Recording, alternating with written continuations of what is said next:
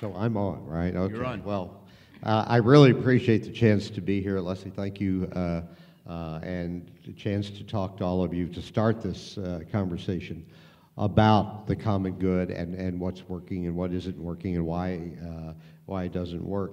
I, I, I think about my own life in politics, and- and I, I think sometimes it seems a little strange that every two years we go out to take back the country from the people we just gave it to. It- it- uh, so- something's not quite working right. Uh, and I spent a lot of time trying to figure out why it's not working right. Uh, I, I uh, actually recall uh, the first little germ of, of concern that uh, came in my head when I was a member of Congress and I was having town meetings in my congressional district in Oklahoma City uh, and was asked why I had not done something that this person wanted me to do and which I agreed with and wanted to do.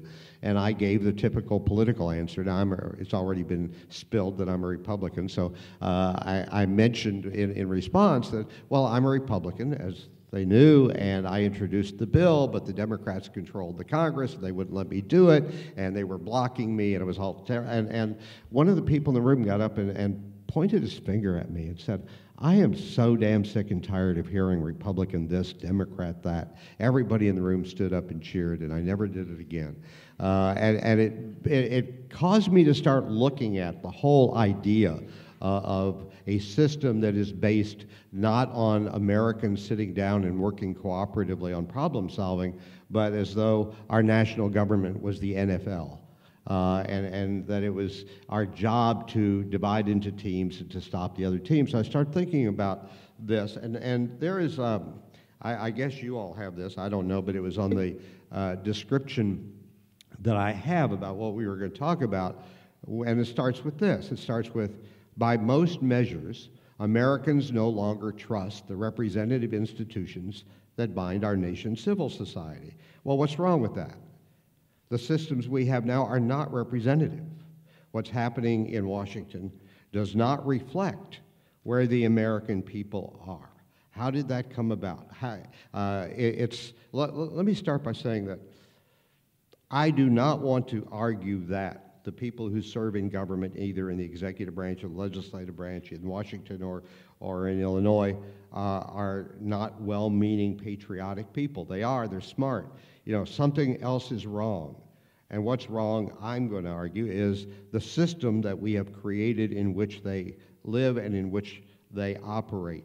There are a couple of basic truths that are important to the way our government is supposed to function.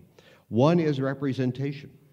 The idea that we're, we're not going to be subjects, we're going to be citizens, so instead of the government telling us what to do, we tell the government what to do. And the idea is that we will be represented. You in your congressional district, you in your state, are going to have people in Washington who speak for you, who know you, who know your concerns, uh, and that take that, those concerns to Washington. And the other is because there are now over 300 million of us, and we're all very different. We have different backgrounds, we have different religions, we have different life experiences. At some point, no matter how firmly you believe in a point of view, and no, no matter how strongly you argue for that point of view, you have to, in the end, be willing to compromise. You have to be finally able to say, I've got as much as I can, or I've lost, you know, less than I might lose, and let's sit down and work it out because we have to make sure that our troops get their weapons, that our bridges don't fall down, that we pay our bills. We have to function as, as a government.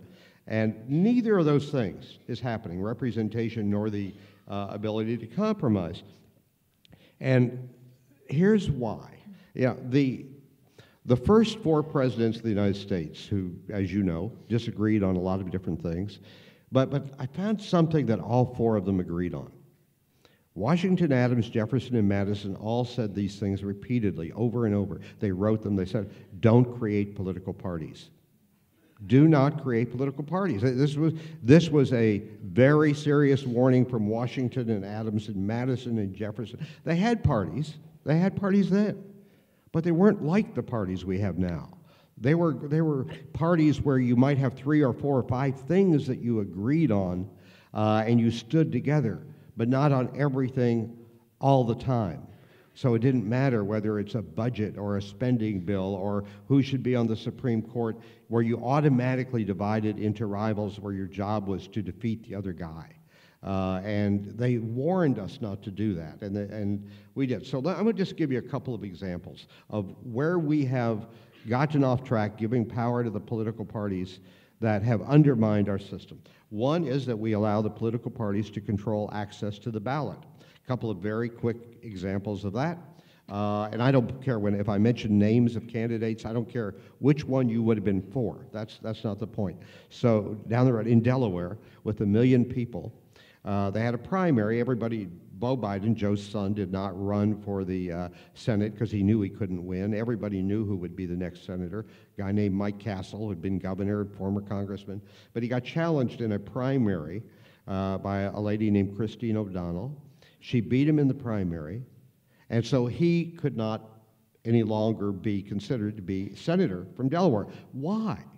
It's because we allowed the parties to control access to the ballot. And in the million people in Delaware, only 30,000 voted for Christine O'Donnell. 30,000 in a million. And that meant that the other, because there, oh, there, there's a little confluence of events here. So you have closed party primaries that determine who you can choose among when it comes to, you know, who serves in the Senate or the House. But the parties have also colluded to create what they call sore loser laws which means if you sought your party's primary in a primary or convention and you sought your party's nomination and you lost, no matter how few people voted in that primary, you're not eligible to be on the ballot. And that's the case in 46 of the 50 states. So that's how somebody like Todd Akin becomes a nominee of a major political party. So uh, that's part of it. The same thing happened in Utah, where Senator Robert Bennett, because 2,000 people in a convention in Salt Lake City didn't vote for him, the 3 million people uh, in Utah were told he can no longer be your choice. That's the political system we, have created. So, one other thing they do we, we've allowed the political parties to control redistricting to control. And you might think, you know, that, how that's pretty boring, right? I mean, you know about gerrymandering, but I mean, who who really cares? The, most of you, or you wouldn't be here, you know, very knowledgeable about government. You could probably name almost everything in the U.S. Constitution. One thing most of you would forget, it's one of the most important parts of the Constitution, that every single member of the U.S. House or Senate must be an actual inhabitant of the state from which they're elected. The idea is that you represent the people, you know them, you're familiar with them. So let me tell you my story. I am a city guy. You can't see my loafers from you know back there, but uh, you know I'm, I'm a city dude. To, to me, groceries come you know from a grocery store. You know I, have been on a farm once, but uh, I so I, as a Republican, I won a district. I was elected as, as a Republican in a district that had not elected a Republican since 1928, and there was 74% Democrat. And it just drove the majority uh, in the other party crazy you know, they controlled the state legislature, so they redrew my district. I don't know how many of you have been to Oklahoma, but, you know, all of New England fits inside of Oklahoma. Uh, and, and my district was in the middle of the state, and they drew it up then from uh, Oklahoma City in the middle of the state all the way up to the Kansas border, halfway across to Arkansas. Uh, and, and I said, look what they did to me. I'm a politician. I'm so very self-referential. It's, it's all about me. Uh, and I would tell my students, look what they did to me. And they really didn't do it to me, did they? Because now I'm the city guy who knows nothing about farms. I was now representing wheat farmers and cattle ranchers and small town merchants, and I could not speak for them. And all over the United States, we have people being, quote, represented in Congress by somebody who doesn't really know them and who is not a representative of, of them and what their concerns are. So one final thing I'll, I'll say and, and, pass on. Uh, I'm going to skip over money because I know we're going to get to that. I mean, you know, we, uh, you know, corporations are people. You know, give me a break. Uh, anyways, we'll, we'll skip that. But in the House of Representatives, where I served for 16 years, the focal point, the, the choke point for all major legislation is the committee system. How do you get on a committee where you decide whether a bill moves forward, whether you decide whether the policies will be seriously considered by the whole House or the Senate? The party controls appointments to the committees and controls those appointments in exchange for your promise to stick with the party line on the major issues. Take your brain out of your skull and hand it to your party leaders and do their bidding, or you know you don't get the committee process. So, good news, very fast. The American people have had it. They've had it.